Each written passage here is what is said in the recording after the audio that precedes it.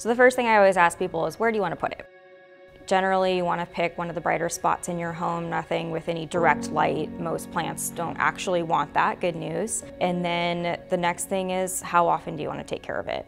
Some people really want something that they can baby, and so you would then be looking at things that like frequent watering or frequent misting. And other people really just want to start off with something really hands-off, something that maybe you look at once a week or even once a month. So it's important to think about your care style. When you're choosing your first plant, you want to think about your aesthetic choices. It's very important that you love your first plant and take care of it. So really take your time and look around at plants. It's more important to make sure that you're getting a plant that is suited for your care and your environment needs more than like, oh, well, this plant is good for beginners or this plant purifies the air or anything like that.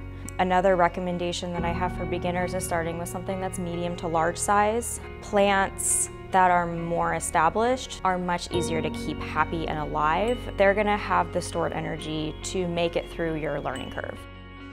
Another thing I always recommend is that when you're just starting off, making sure that you have a good resource. Since you're watching this video, it probably means you know about us, so please utilize our tech support line or our DM support so that if you have questions, you're not terrified of what answers you might be finding on your own.